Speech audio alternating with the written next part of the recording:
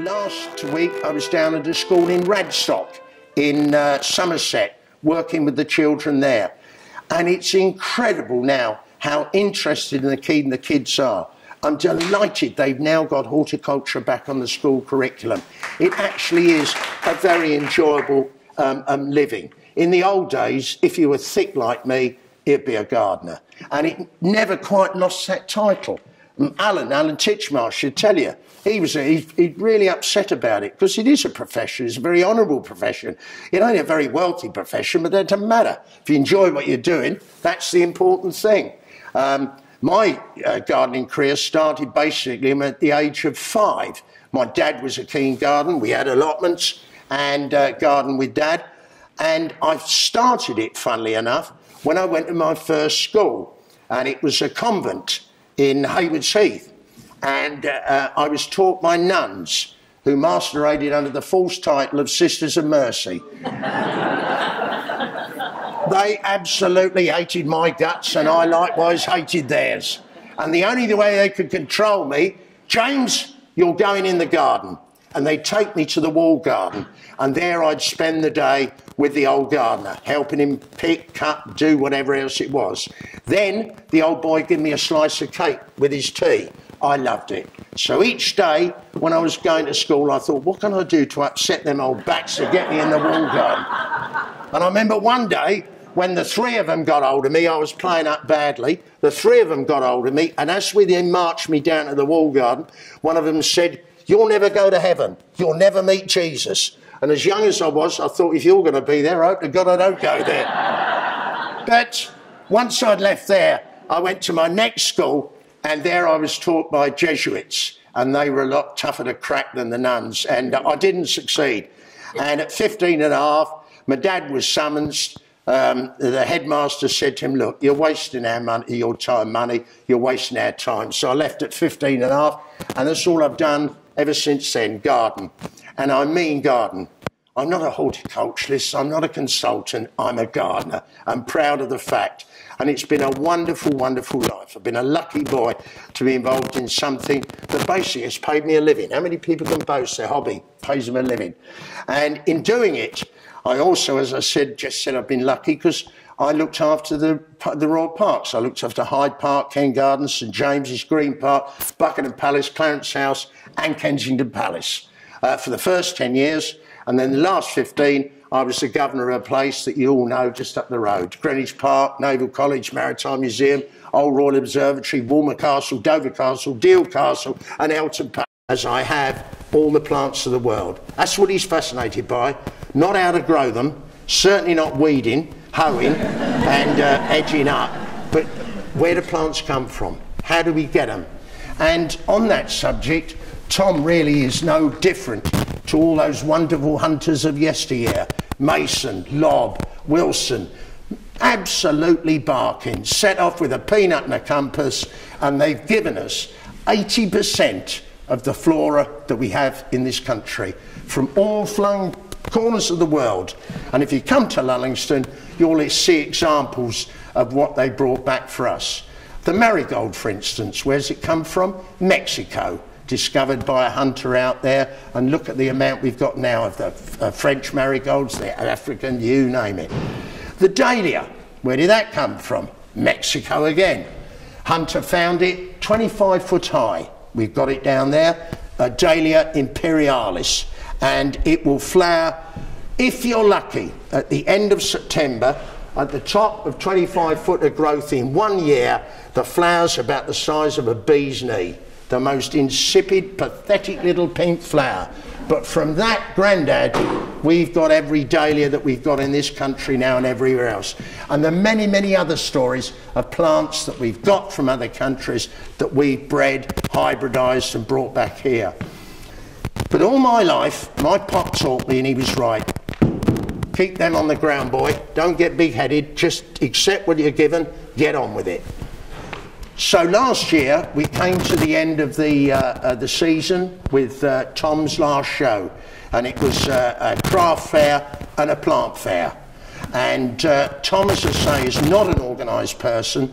And I said, Tom, we've got to mark the pitches out. No, no, no, Jimmy, they'll be all right. They're fine when it. I said, yeah, they'll all go in one corner. We want to spread it.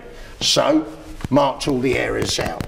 And I stay down there when we're really busy like that. The next morning, six o'clock the Sunday morning, before the vehicles are arriving, we're just having a cup of tea and a bit of porridge. Right, I said, Tom, who have you got doing the car park today? Tom, did you hear what I just said? Sorry, Jimus, I, I, I forgot to ask Fred. I said, all right. So I put the yellow jacket on, and now the cars are arrived. Come on, come on, come on, in the field opposite. Then the next one, next one, all the lot. And this woman got out, smiled at me, and when she went down to pay her money, she said, Excuse me, that bloke doing the car parking, was he that judge in the Great Allotment Challenge? And the girl said, Yes, he was. Oh, she said, I suppose, like all actors, he's out of work at the moment.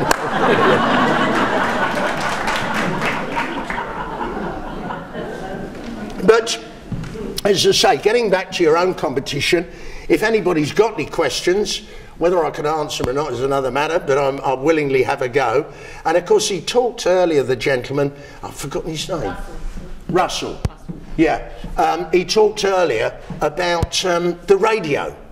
And the radio, I, have I've heard recorded, I can understand that, Mr. Middleton, Gordon Bennett. See, the thing is, with radio, you've got to have a voice. No good having a pretty face. And I do a lot of radio work, and actually, you know, I am, uh, th th that's my face, my voice. People can hear you, they get to know the, the lulls, the highs, the lows, as he rightly said. And I do it for BBC Radio, Surrey, Sussex, and Hampshire. And the lady, uh, was it the lady that made that crack about me? Um, no, it was one of the gentlemen on radio. Steve Bradley. Because yeah. they do Radio Kent and they both do Sussex with me. And you heard what he said. Somebody rang up and said, We're celebrating 100 years of our estate. Could you name the plants that are doing it? And she'd already said, But Jim Buttress is coming down. They said, Ask him, he was around then. Thanks a lot. But radio is a very, very powerful media, there's no doubt about it. We pull in on uh, BBC Radio Surrey, Sussex, and Hampshire about uh, four and a half million listeners in the area on a Sunday morning. It's called Dig It. And my first into radio was with the uh, LBC, the London Broadcast uh, Mob, and Therese Birch was the presenter. And it used to go out on a Saturday lunchtime, and it was called Weekend Matters and there'd be me, there'd be a DIY expert, and there was somebody on mechanics. And we all took a turn each week of giving the advice and dirty, dirty dirt. So we're on there, and uh, the presenter said to me, Trace, she said, Jim, I think we can nick another question before we go to the uh, news, weather, and uh, roads, you know, traffic. That was the word I was thinking of. All right. So it's Fred. Fred from uh, uh, Croydon. And he said, Jim, I think I know the answer, but I really want you to just confirm it. I've got a tree in the front garden and it's, it's really looking sick. It hasn't done anything for two or three years. I said, What was it, Fred? He said, It was a cherry tree. I said, No doubt, it's got canker, past its sell by date. I think you know what to do. Thanks a lot, Jim. Grateful. So we then swing in to the, the news. And they read all the news out in the next studio. Then they went to the weather, and this is God is my judge. When they got to the traffic report, they said, avoid the Croydon area, there's a tree down across the road. so it's, it's a great way of people coming in and asking. But the BBC, the Dig It one, that's on a, a Sunday morning, the three hours on, uh, we do it from Guildford uh, University. And it was Gene Griffin who does Kent said when they were short of somebody to come on, um, well, I know a bloke, he, will he, grab it. So they got me down there and they said, well, we'll give you a trial. Um, obviously, want to see whether you fit in with us and the people I heard, all the rest. Okay. So I've gone down there and the bloke give it a build up, X Royal Parks, dirty, dirty, dirt, Jim Buttress. Morning, Jim. Morning, Joe, how are you? And uh, have we got a caller? And you see it come up on the screen. Bloke rang up. He said, I don't know you talking about this Jim Buttress. He said uh, he sounds just like uh, what's his name, Hopkins, the uh, the actor, um, Hoskins, isn't it? Bob Hoskins. They said he sounds just no, no, no. It's Jim But All right, fair enough. Then they thought I was that bloke from the uh, um, what was his name now? Oh, come back to me in a minute. And somebody else. None of them would accept that to a Ray Winstone. That was the other. They said it's Ray Winstone. I didn't know you're a gardener, Ray. And I keep saying, no, no, no, it's Jim Buttress. Well, it, in a way, it got me the jobs. I've been there five years now. But it's, it's fascinating listening to what people want. And it is that basic advice. I think one of the problems with that Great Allotment Challenge was they tried to do too much. And what most people wanted was the basics. How do I do this? When do I do that? What's wrong with this? And um, I'm already in discussions with another company to probably produce a program maybe next year, It'll be too late this year, because I think that one's finished.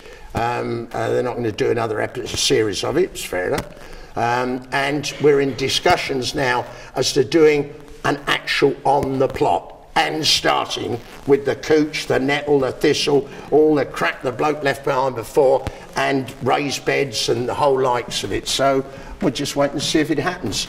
And because of that, as I said, the, the extra work I've got is fascinating. Uh, the last two days I'm down in Worcestershire at a, a college called Pershore, and they've got a big theatre there, and we did an evening of uh, reminiscing and stories and what have you. So, as I say, I've been a very, very lucky lad.